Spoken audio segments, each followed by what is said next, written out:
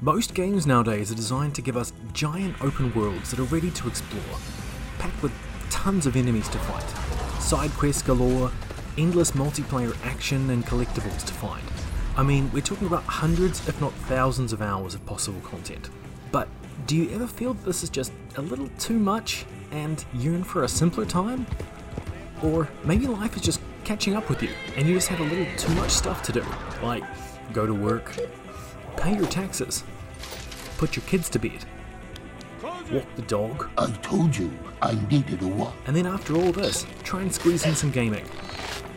Because you don't have that time that you used to anymore. What you want is some decent games that don't take you a million years to finish.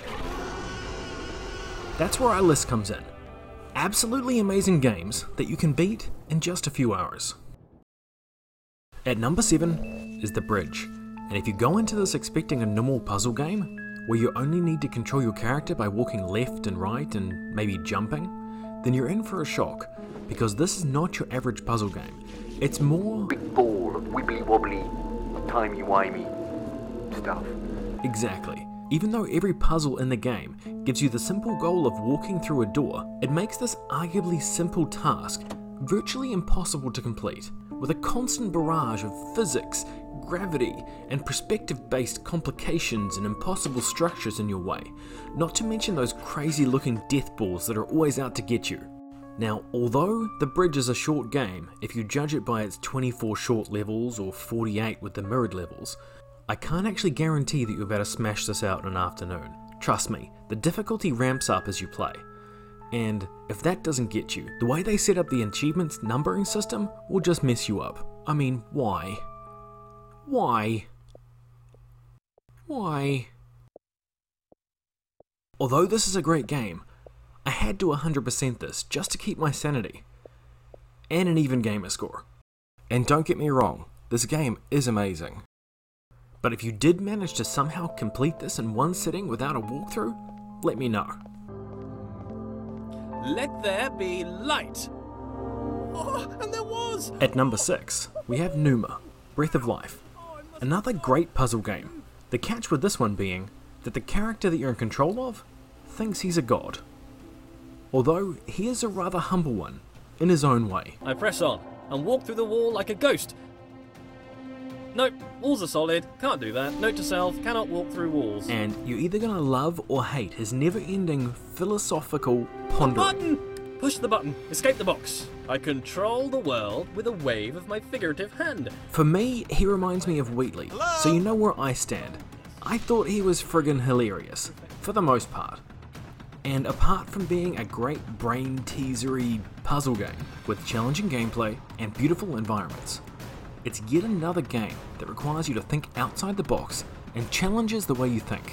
What you think would work one way may work in a completely different way, and nothing is what it seems. But what sets this game apart is slowly listening to Pneuma, learning about his true nature and your role in it.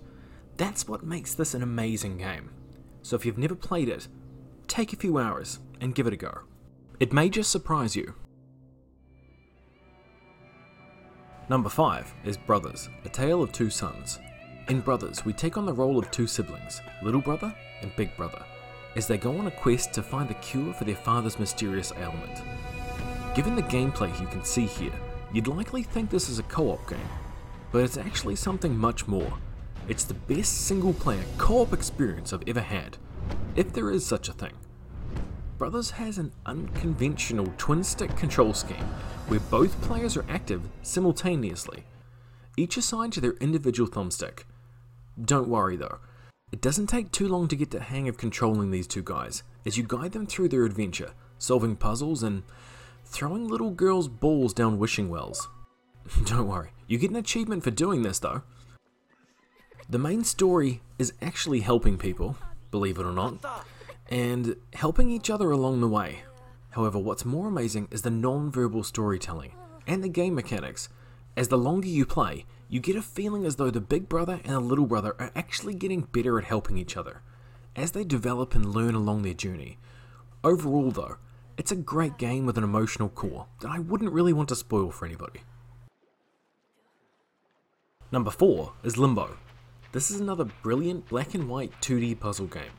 However, where the main gameplay mechanic in the bridge was all wibbly wobbly, timey wimey, this one's puzzles are all based down to earth, or six feet under. Dead is what I'm saying. Seriously, if you haven't played this game, you die.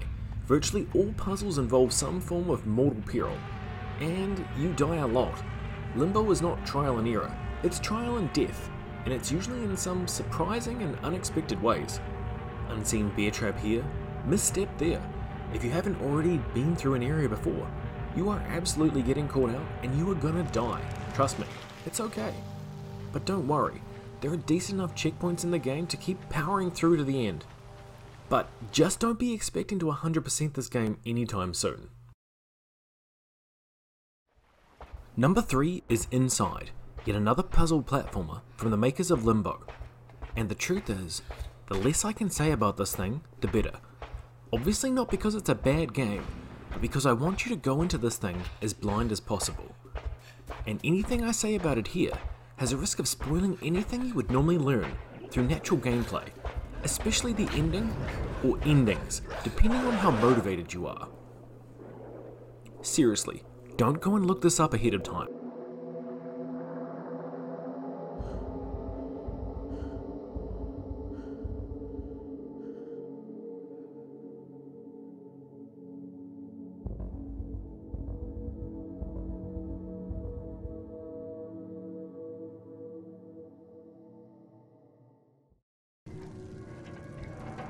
At number 2 is Little Nightmares, a perfect title for an eerily creepy yet absolutely brilliant game.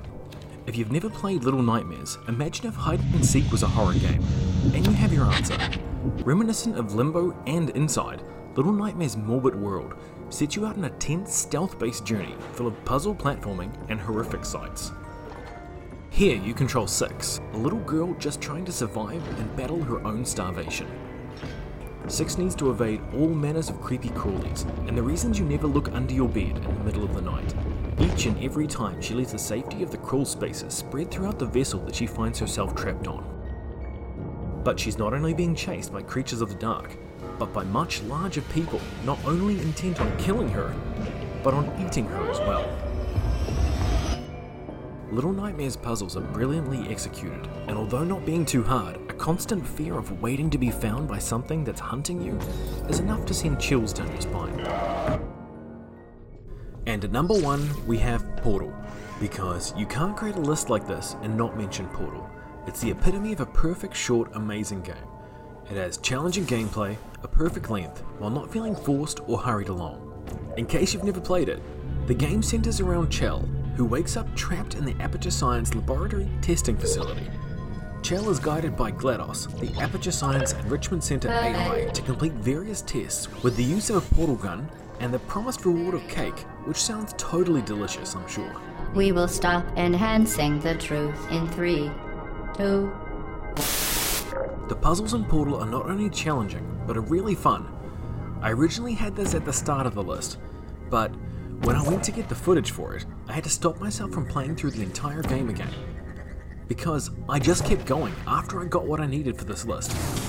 Apart from problem solving, it never really gets old just dropping between floors, flinging yourself around the map, messing with turrets, or locking yourself in a room. a complimentary escape hatch will open in three, two, one. I'd say the only thing missing from this game, if anything, is maybe a side character on Chell's side, voiced by Stephen Merchant. Hello?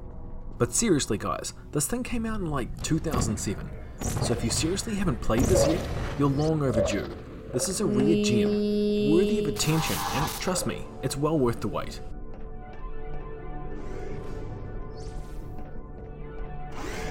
Anyway, that's our list, guys. Now, I know this list only scratched the surface of all the amazing games that are out there, and if you know any that I've missed, let me know in the comment section down below. Also, let me know your favourite while you're down there. Please remember to give this video a like and subscribe and ring that bell if you haven't already. And if you think someone else may enjoy this video, give it a share, it always helps.